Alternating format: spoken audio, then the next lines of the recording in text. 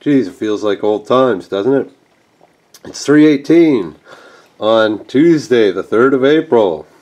It is 20 degrees inside and 8 degrees outside. Yes, it's a beautiful day, as you can see. It's nice out there.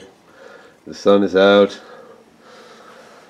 The green grass is not quite green yet. The puppy dog, he's happy. The kitty cat, well, I think she's still alive. At least, we can hope she is, right? What's up, guys? It's been a little while. I know. I, you know, haven't been on the camera so much, but that happens sometimes. You know, life gets in the way of YouTube now and then. But here I am, back again on YouTube, making another video. What's this video about, you may ask? Fucked if I know. That's why I'm making it.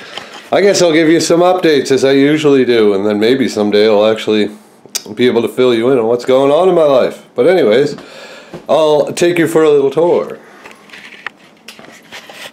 You also can look forward to seeing a uh, review of a new car. The uh, girlfriend bought a brand new Honda Civic. I'm going to do a review on it here in the next few days. But my old tractor's doing good. Put a big old dent there though. Oh, ran into it. It's a four-wheeler when I was plowing some snow. It's the racket I hear. I hear something clunking around back here. Ah, it's that thing. Well, I can't complain, guys. She works good. Still got the parts pieced here. Got to get rid of that. The old truck, she's still working good. Uh, leaks oil a bit. I think it's oil, anyways. Leaking something. I got to look into it. But uh, oh crap! I don't even have my keys. There's one of my skidoos. And the other three, I'm hopefully getting rid of them soon. But uh, I'll be right back.